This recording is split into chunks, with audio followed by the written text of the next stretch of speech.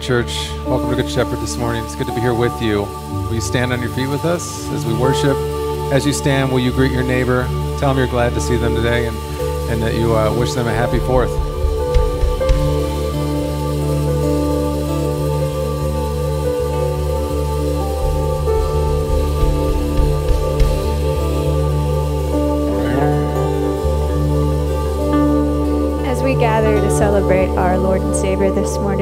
Join me in this call to worship? O Lord, let my soul rise up to meet you. As the day rises to meet the sun, all glory to the Father, and to the Son, and to the Holy Spirit, as it was in the beginning, is now, and will be forever. Come, let us sing to the Lord. Let us shout for joy to the rock of our salvation.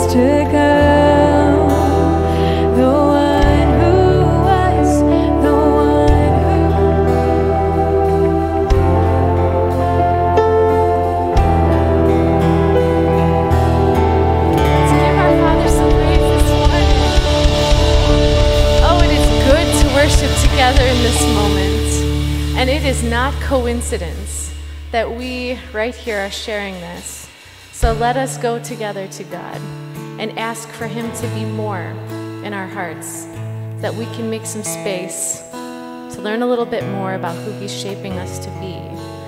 So as we sing this next song, I want it to just be a prayer. As you sing it, just you and God, just talking to Him, and let Him move in you.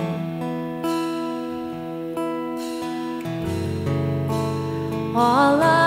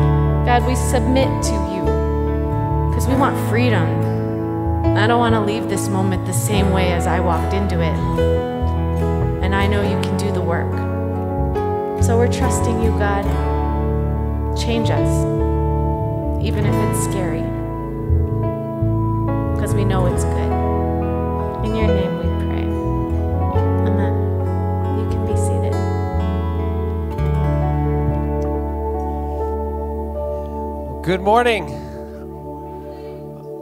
I'm going to do that typical thing. That wasn't good enough. Oh, thank you, Gary. Thank you. Well, no, that's enough of that. um, it is great to be here together today, is it not? It is right, it is good for the people of God to gather together to worship the name above all names, the King of Kings, the Lord of Lords, our Lord Jesus Christ. Um, we gather today in freedom.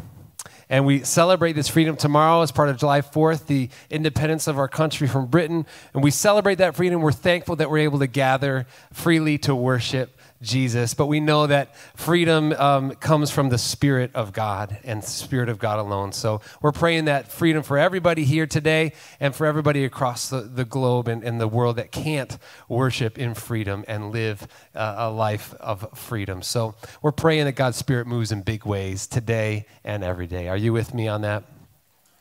Amen.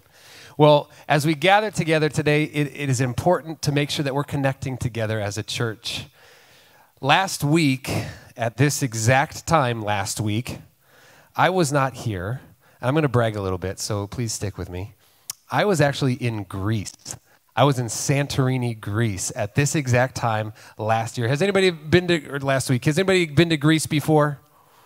A couple people, a couple people. So I was sitting on a rooftop restaurant in Santorini, Greece, overlooking the most amazing sunset uh, in the, you know, that I've ever seen. And the coolest thing was I connected my phone to the Wi Fi at the restaurant, and I was worshiping with each of you at this time last week. For me, it was dinner. For you, it was just breakfast. But, uh, but over this delicious lamb, I was worshiping with my Good Shepherd community. Isn't that pretty amazing? That, that God isn't confined, this community is not confined to the bricks of this building, but we are a people of God. And, and it just warmed my heart to be able to share that with you guys today, saying that no matter where you are, you can still connect to this community here at Good Shepherd. Amen. And one of the ways that we could do that in particular is by filling out the cards that are in the seat backs in front of you. The white card is a connect card. Let us know who you are, what you're interested, how we can best serve you and partner with you to do God's work here in our community and beyond. So please fill out that connect card. And the yellow card is a prayer card. Here, prayer is definitely an intentional thing that we do. We want to gather and unite in prayer. So please let us know how we can support you. Prayers of praise, thanksgiving, prayers of times of need. We want to be joined together in community and prayer. So later on in the service, the offering basket is going to come around to y'all, and you can just place those cards in the offering basket, and we can be sure to connect with you guys on that. We are continuing a, a, series right now that we're calling Practicing Ordinary. And the cool thing about it is, is, we're just looking at those kind of ordinary, mundane things that we experience each and every day through life. And I hope one of the ordinary, mundane things that you do is you brush your teeth and that you wash yourselves with soap. We're asking you to partner with our church community to care for others because here at Good Shepherd, we are generous givers. We are generous givers here at Good Shepherd. So we want we want to ask you guys: Would you would you purchase individually wrapped toothbrushes, individually wrapped bars of soap, and you'll see a collection um, place as you walked into the worship space today that we are going to be collecting these each and every week as we work towards this weekend um, coming up in August. Uh, we're calling it Better Together Sunday, and what we're going to do at that Better Together Sunday is we are going to pack care packages for refugees from Ukraine. And one of the things that you could do to partner with us is by helping provide some of those things that will be included in those bags. Can you guys help us out with that? Yeah, can we serve? Can we give generously? Amen. Yeah. So please go ahead and do this. Make sure you bring them throughout this series. Today, we focus on something that actually happened to me as I was coming in today. I hadn't driven my car in two weeks. I couldn't find my car keys. So maybe some of you guys might relate to this video right here. Check this out. Thank you.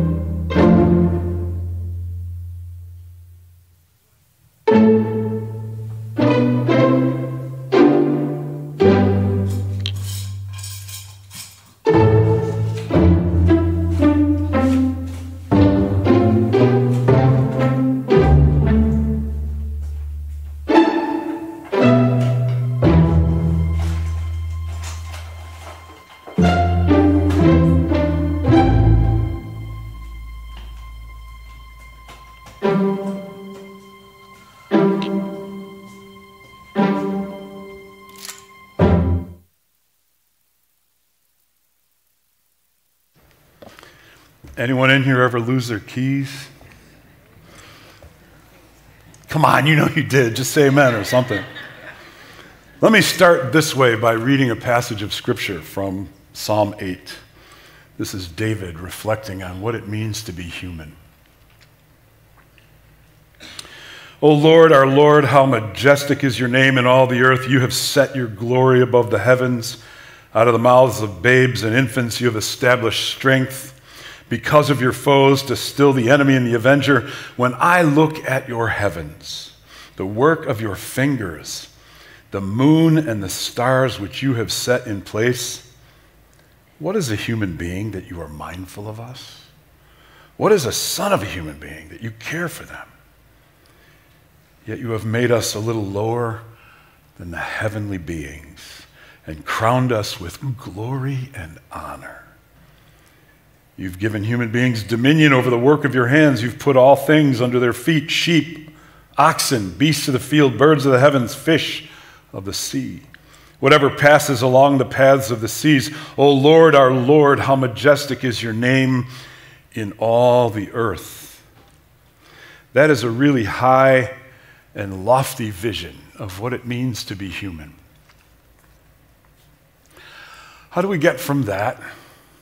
To the place where we're losing. Oh, they're there. Yeah. I knew they were in one of these pockets. Where we lose these keys. These are my keys. These are really important to me, not just for the key, but more importantly, as my dog tag. That thing's been traveling the world with me for 46 years. It's got a lot of stories. I don't even care about the key, but don't lose that thing. So this shows you how long I've had those. So I've never lost my keys. I have misplaced them many, many, many, many times, but ultimately, so far anyway, they've all come back. So we're in this series called Practicing the Ordinary, based in part on this book, The Liturgy of the Ordinary by Tish Harrison Warren. It's not the kind of book that I normally buy, which is precisely why it's really good for me because it pushes me into thinking about things in different ways. And I really love that. I love her perspective. So today the chapter is titled Losing Keys. Let me just read how she starts this out, see if you can relate. I have a plan for my morning. Run by the store to pick up a side for dinner and some dish soap, and then I'll head to a meeting. So after I brush my teeth and help Jonathan get the kids off to their activities, I get dressed quickly, eat breakfast, I throw on my favorite corduroy coat, I hoist my computer bag over my shoulder, and I head to the door. I go to grab the car keys on the entry table that we bought and painted robin's egg blue for the express purpose of having a spot for our keys. Next to the jar of dried lavender and stack of mail are two key rings that hold the keys to the car, the house and our neighbor's house, as well as a couple of other keys, the purpose of which I've forgotten, but I keep holding on to them because you never know. Cue the sound of screeching brakes. The keys aren't there. Hmm. I check the side packet of my ba- pocket of my bag. Then the pants I wore yesterday. Then my bag again. I start to panic a little. I take off my coat. I walk into my kitchen and I look on the counter. I have lost my keys. With them goes all sense of perspective. With them goes my plan. With them goes my cool. These instruments that I use for security and freedom to lock out the bad guys and get where I need to go have suddenly become a means of imprisonment. I'm stuck. Where could they be? I go through my stages of searching for lost objects. Stage one logic. I retrace my steps. I look in the places that make sense. I breathe. I try to remain calm and rational. This is not that big of a deal.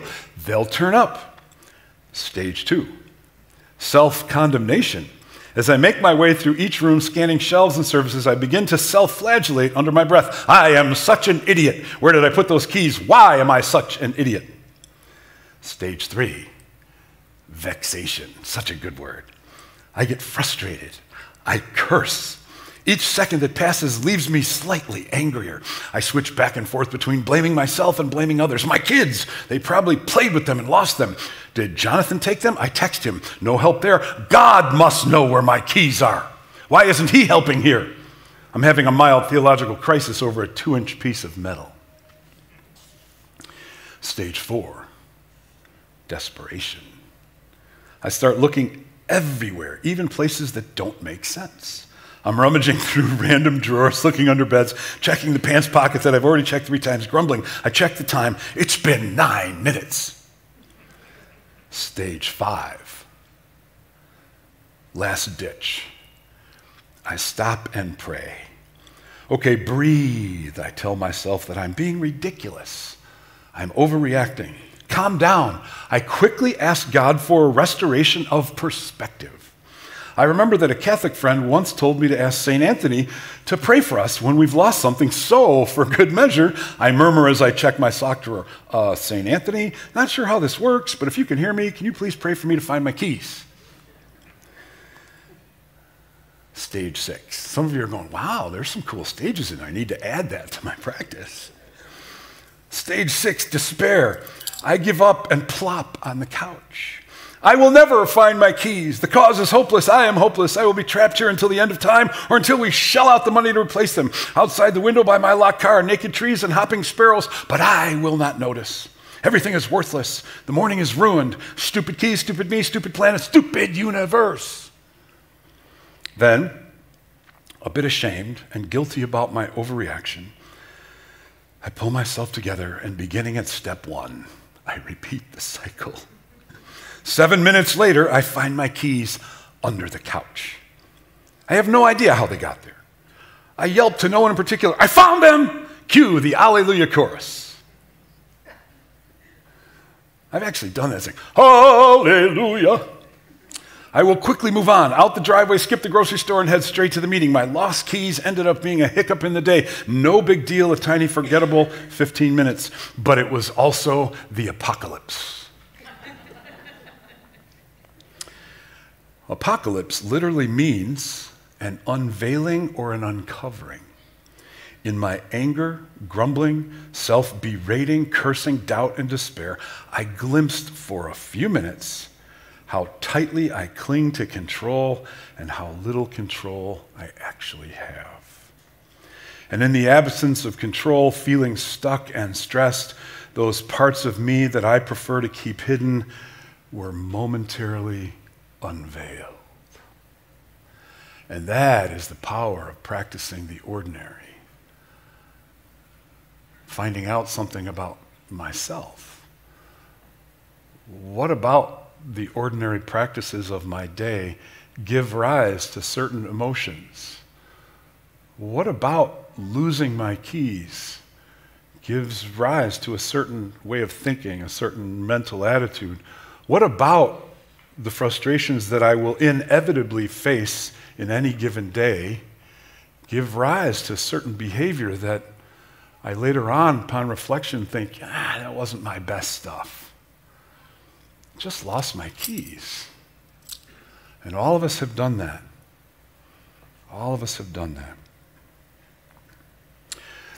The challenge is that for me and for all of you, we have this illusion that out from me goes this order of control, and I can control my universe if I'm practical and pragmatic and have integrity and manage my Outlook calendar and put my keys in the lavender pot on the blue vase next to the door, then all will be in order and in control. But it doesn't work that way. As a pastor in the western suburbs for over 35 years, as an executive coach with some amazing people, thousands of them over 35 years. I can tell you that all of them, and me too, down deep have a story that we're living out of that says the universe should work this way.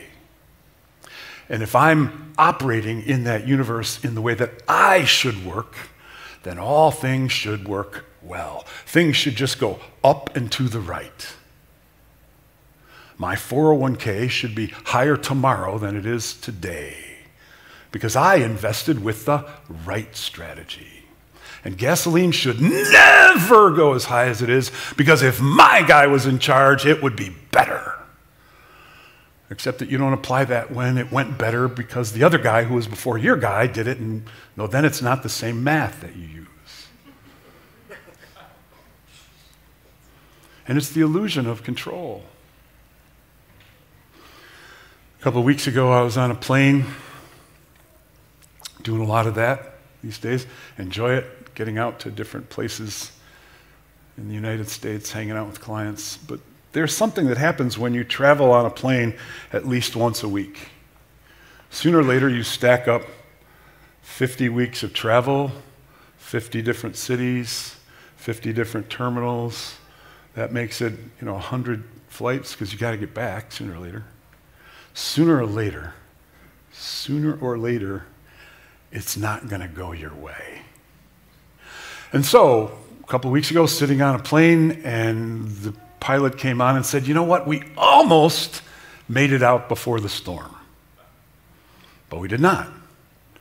And so, hours and hours and hours later, we made it out.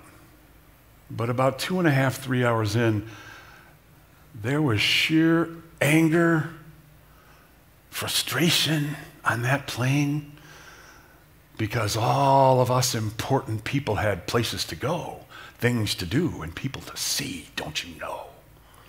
And it was somebody's fault because when your illusion of control breaks down, you got to demonize somebody and idolize somebody else. If I'd have just bought my tickets on another airline, and then you look out the window and that airline's stuck too. Because the pilot said, storm. So I'm sitting next to this guy, and he's frustrated and ticked off. And about three hours in, I said, Do you fly a lot? Well, this is my third or fourth time. Wait! And I showed him my phone. I said, See, this is a weather map. This says tornado warnings. How many of you want a really good pilot when you fly? Some of you don't want a really good pilot. You don't even care about the illusion of control. You'll just get on any old plane. Good for you, not me. I want a really good pilot. How many of you want your really good pilot, the best pilot, to fly through tornadoes? Nobody wants to fly through a tornado, I guarantee you. I don't care how good you are. You don't fly through tornadoes. Tornadoes are bigger than a plane. They take the plane and go, look, a little frisbee, cool. And you and I all know that you can't control the weather. So I'm glad that that pilot had the sense to say, I'm not going anywhere. I don't care how many of you get mad at me. So I'm talking to this guy. So let me give you a little perspective. Let me tell you a story. Several years ago, when my wife and I were flying to Papua New Guinea when my daughter lived there, that's four flights. It's about 27, 28 hours in the air, wheels up. 36 to 40 hours of total flight time, four different airports. So on our way back, we're flying from Brisbane to LA, which is, I don't know, somewhere around a 12, 13, 14 hour flight. That's a long flight. So we get on the plane and it takes off on time. Yay, team. And we're about four hours out over the Pacific. How many of you have flown over the Pacific? It makes the Atlantic Ocean look like a puddle. It's like big. Like if you have a globe, spin it to just the Pacific and you can't see it, you see a little bit of land cropping up. The Pacific is big, thousands of miles across. So we're flying from Brisbane to LA, which means we're over water the whole time. And about four hours in, I'm sitting there reading, and all of a sudden I feel the plane going. I'm like, wait, what's he doing? Like, are, is you got a big cloud you're turning around or what? You hang hanging a left at uh, the Pacific, this wave or something? What are you doing? The pilot comes on and says, you know, a couple of lights have gone on on the dashboard. Everything's going to be okay. They're not real serious, but to ensure your safety, we got to have them go checked out. And it's actually faster for us to go back four hours to Brisbane than it is to keep going another seven or eight hours to LA. So we're going back to Brisbane. Eh, four more hours with the lights glowing. like, okay. Control. Control. It just doesn't make sense. Sooner or later, you have to admit that you are not in control. That doesn't mean you shouldn't do your best to plan and, yes, have the bull by the door so you can find your keys, all that. But sooner or later, you have to think of different ways of operating in this world. And so, this book is really good at that. Let me read something else that happened to her that I think is instructive because then it gets into the theology of how we think about this. Sometimes my days run smoothly. Like ticker tape, they hum along, pleasant enough, productive at times. My plans, for the most part, uninterrupted. And then something small happens, the slightest tear in the tape, and the whole thing halts and becomes an unbidden morality tale. The neediness and sinfulness, neurosis and weakness that I try to pretty up and manage through control, ease, and privilege are suddenly on display. A few weeks ago, the dryer, the dishwasher, and the ceiling fan all broke within a few hours. Talk about an existential crisis. Most of my adult life, I have had neither a dryer, we used a clothesline or the laundromat, nor a dishwasher, we did the dishes by hand, nor ceiling fans, we have air conditioning. But when they all broke simultaneously, it felt like the universe had me on some kind of hit list. I took it personally. I know no one in here has ever done that. Small things go wrong. I feel hurried or overwhelmed, burdened by sad news, or worried by a friend. And like a rising flood, inch by inch by inch, the collective sadness and frustration mounts, and I snap.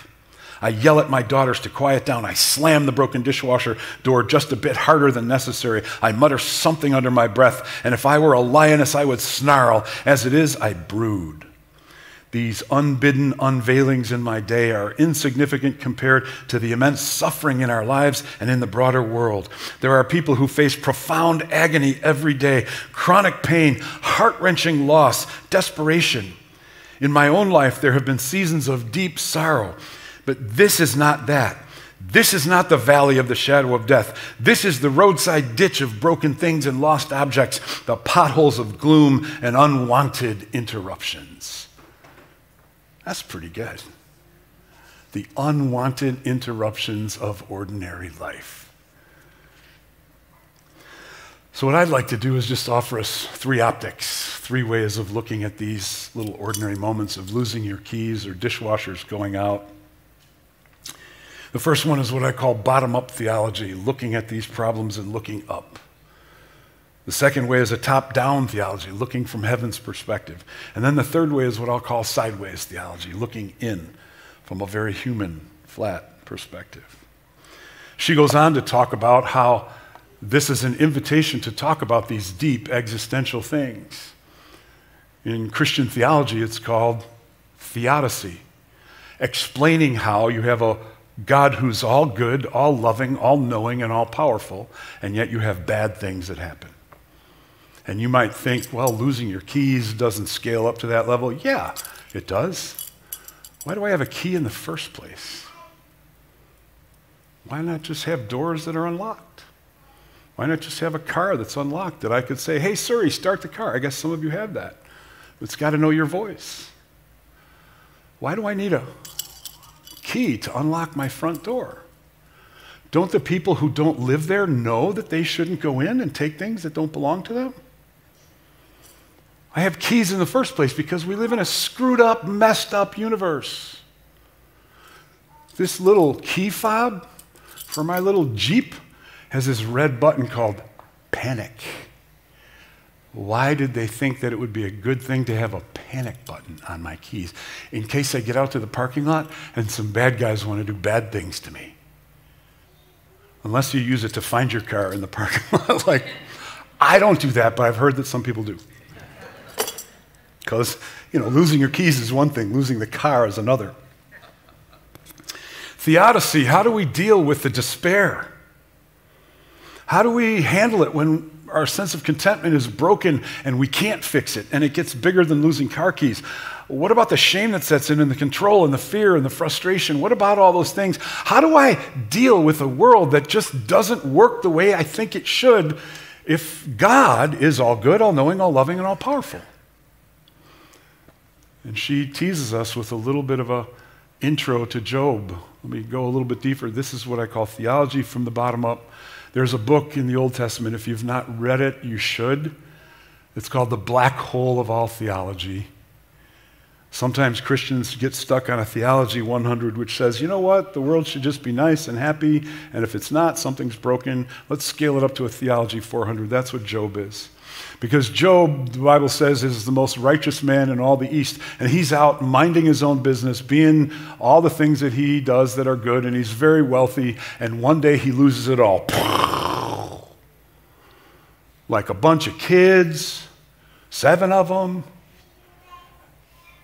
and their spouses, and he loses his farm, and he loses his ranch, and he loses his wealth, and he loses his status, he loses his clothes, and you get to the end of chapter three, and he's standing in an ash heap that used to be his four bedroom, three bath, two car garage house on the perfect salt cul de sac. Only it's not there anymore, it's burned down. And he's got a piece of pottery that's broken in his hand, and he's scraping the boils because calamity of all calamities has happened to him. And his wife comes along and says, Dude, she probably didn't say dude, but if I were there, I would have coached her to say, Dude, dude, Job, what's wrong with you? Curse God and die. It doesn't get worse than this. And Job essentially says, Shall we accept good from the hand of the Lord? And not evil as well. Blessed be the name of the Lord. And then it takes another 37, 38 chapters for Job to argue with three and then four friends who come with all the right Sunday school theology. You know, you must have done something wrong to deserve this. And Job's like, You're crazy. Job actually takes God to court files an oath of innocence, which in the ancient world meant listen, unless the gods show up and prove me wrong, I am going to stand here and claim my innocence. And Job does that. At the end of all these arguments that God has, or that Job has with his three friends, at the end of that, God comes to him in a whirlwind, and Job chapter 42 says that I, my ears had heard of you, but now my eyes see you. I'm experiencing you now. And then it's this weird translation, which some translators, to make it all cleaned up, translate as the word repent. I now repent in dust and ashes. But that's not what it says. That same Hebrew word in every other context is translated as the word relent. There's a difference between relent and repent. Job gets to the end of his argument with God and he relents. He's like, I cry uncle. Can I get a fair hearing in your universe? And the reason we know that that's accurate is because God says to him, Unless you come to me and you offer a sacrifice for your friends who got it all wrong, I will not forgive them. So God has already said, Job, some things you said about me that were a little rough, but I get it. They're right. And to maintain your sanity as a human being. And Job ends in a stalemate. And sometimes, I just need to say, you know what, Lord? This universe is messed up. And if you're all good, all loving, all powerful, all kind, all wise, I don't get how it can continue to be so messed up. I don't get how gas prices are going up. I don't get January 6th. I don't get Black Lives Matter. I don't get Roe v. Wade. I don't get the Supreme Court. I don't get election stuff. I don't get 401ks. I don't get the meltdown in cryptocurrency. I don't get it all. And that's just the top 10 off the top of my head that I can think about. I could add 100 more, and pretty soon you got this knot of complexity that I cannot solve, and neither can you, and neither can your favorite guy. Because there's something wrong in the world, something broken. I hear sometimes Christians say, God is in control. I beg to disagree. God is much more than that, God is sovereign. And to be sovereign is that he gives us control and steps back and waits and waits and waits. And Jesus said he'll come back one day. And until he does, There will be messed up things happening in this world. Jesus said that himself. In this world, you will have tribulation. And that's a theology from the bottom up. Sometimes I just have to go look for my keys and find them and go, Lord, I don't understand why the universe works this way. But I can't stay there. Sometimes I need to go to the theology from the top down. What is the perspective of heaven? What is the perspective of heaven? Perspective of heaven, Jesus talks about it in Luke chapter 15, one of my favorite passages in all Scripture. There are three stories in a row that essentially make the same point. Whenever you have a Jewish rabbi telling you the same thing three times, he's essentially saying, pay attention. No, no, I, I really mean pay attention. No, I mean put down your phone, stop looking at Facebook, Twitter, and TikTok.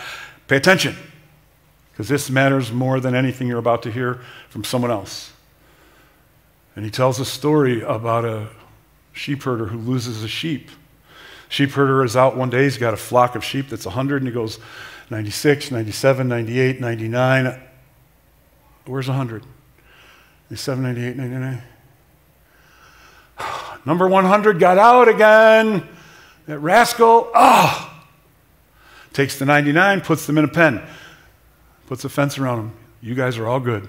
And then he goes out into the Judean wilderness where there are scorpions and snakes and lions and bad things to go find the sheep because the one sheep matters. And he finds the sheep, puts it on his shoulders, comes back. Yay! There's a party. Then Jesus ups the game. He's like, okay, let me tell you another story that makes the same point. There was a woman who lost some coins. Well, what she essentially did was lost about 10% of her wealth. How many of you, if you had piles of cash representing your wealth and you went to count it, you went seven, eight, nine, wait, there's supposed to be 10 piles. Where's my 10th pile? You'd be like leaving right now. Pastor Glen, I'll catch the rest of your message on YouTube right now. I got to go find my cash. And she does. She goes all through the house in her search for the lost cash. And she finally finds it and says, Oh, that's a relief. And there's a celebration. And then Jesus looks over his shoulder, and there's a bunch of religious guys there going, Yeah, so what's your point? Which is not a way to taunt Jesus when you're listening to him teach, because he's like, Okay, I got one more. There was a father and a son. And the son was the pride of the father. But one day the son grew up and said, I'm tired of your Western suburban nonsense. I don't want it anymore. I don't want to go to a Naperville school anymore. I don't want the career that you had planned for me. Give me my portion of the inheritance. Bye. And then takes off for the Vegas of Israel. I know you guys go there just for the shows. It's all good. Bless you. He goes off to Sin City, and what does he do? He spends everything on substances, on experiences, things that would make your toes curl and your eyes blush. And finally, he's out of cash. And he's sitting in the back of a restaurant eating the slops from the garbage. And he says, You know, the folks that work for my dad, they have it better than this. I think I'll go back and see if I can be a servant. And he's walking home, and what does he see? And what happens in the story that Jesus is telling? Jesus says, Here's the father on tiptoes, looking, waiting. My son, yes! Get out the best party food. Break open the barbecue. Get that really cool robe, put it on him. I got this ring I want him to wear. My son who is lost is now found. And the scripture says that the angels in heaven party. That's called party sacred. I told a bunch of high school kids this once. I was speaking to that group, and I said, There is a party hat with your name on it in heaven. They like that metaphor. That's the view from the top down. It doesn't matter how many times you lose your keys. It doesn't matter how many times all those things in your life go wrong. It does not matter how many times you can never be outside the love of God. Paul says, Who can separate us from the love of God? And then he gives this list, which is intended to be a starter list because you can keep adding to it. There's nothing you can put on the list that will separate you from the love of God. You can be outside the will of God, but never outside the love of God. And that's top down. But sometimes I get weary of just wrestling with the big existential issues. And I love the top down approach, but I've heard it before. Sometimes I need to take the sideways in approach. Here's what I mean by that. The Apostle Paul, writing a letter to a church at Corinth, says this If I speak in the tongues of men and of angels, but have not love, I'm a noisy gong or a clanging cymbal. If I have prophetic powers and understand all mysteries and all knowledge, and if I have all faith, if I can move mountains, but don't have love, I'm nothing.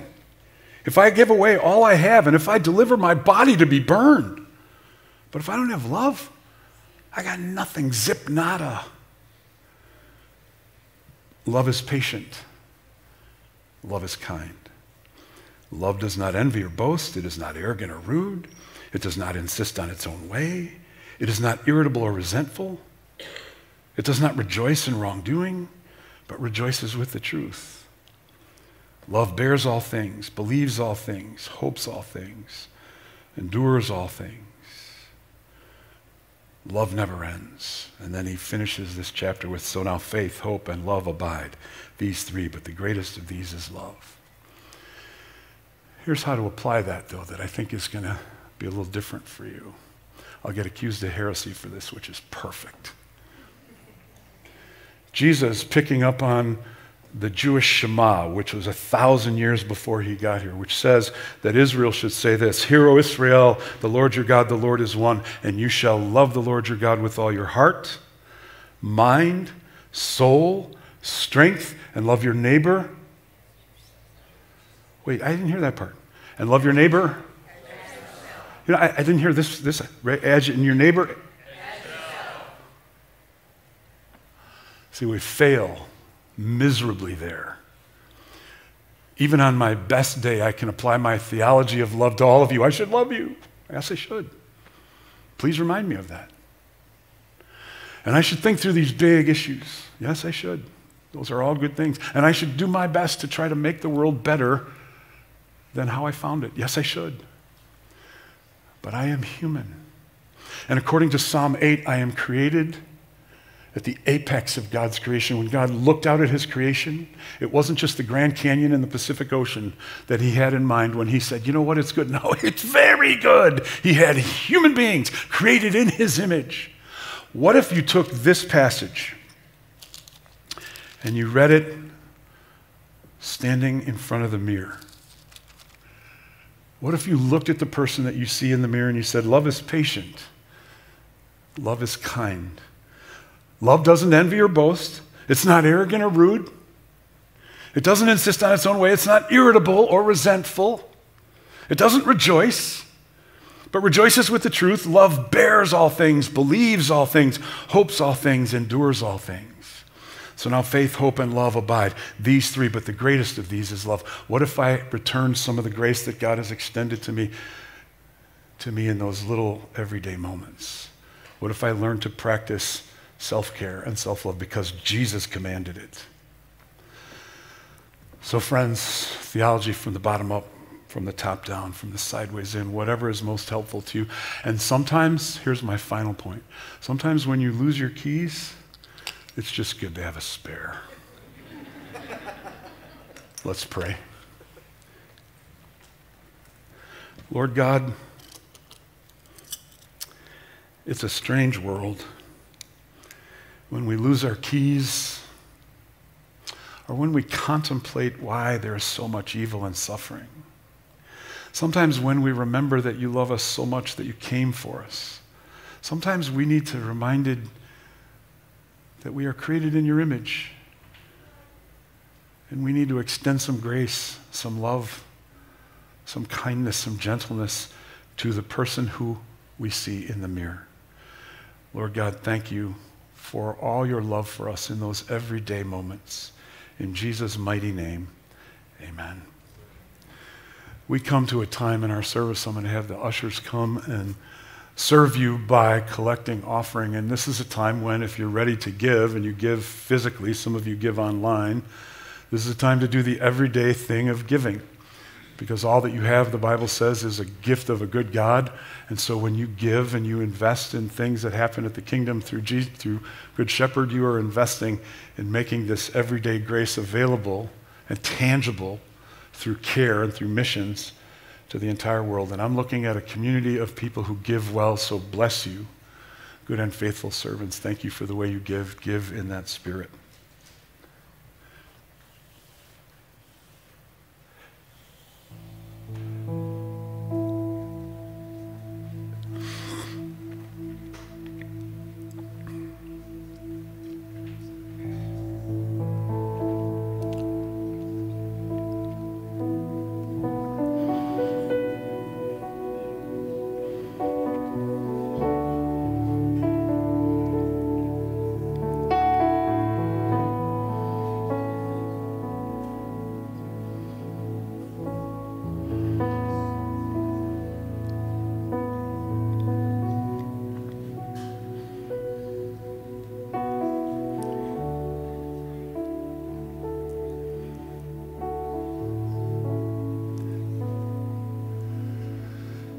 In some ways, it should have been an ordinary Passover, a celebration that all the Jews observed once a year in honor of what God had done with them, with the children of Israel when they came out of slavery in Egypt. But it was not an ordinary Passover because there was tension throughout the Roman Empire, tem- tension in Jerusalem, a conspiracy plot to go find Jesus and take him out. The disciples were afraid. Everybody was afraid. You could feel the tension. And in the middle of all that chaos and mess, Jesus sat down and had the presence of mind to ground himself in the Father's love. And he took this ordinary bread and said something very extraordinary This is my body broken for you. Take and eat. All of you. All of you. Even if you lost your keys even if it's not going so well in your world, take and eat all of you.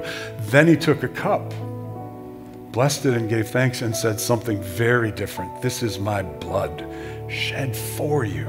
Every time you eat this bread and drink this cup, remember that I have laid down my life for you. To redeem, to heal, to forgive, to cleanse for all the big moments and the everyday moments. Jesus came for all of it for you. Would you pray with me the prayer that Jesus taught us? Our Father, who art in heaven, hallowed be thy name. Thy kingdom come, thy will be done on earth as it is in heaven.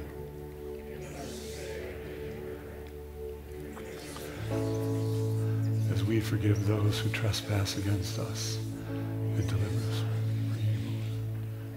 us from evil. For thine is the kingdom and the power and the glory forever and ever. Amen.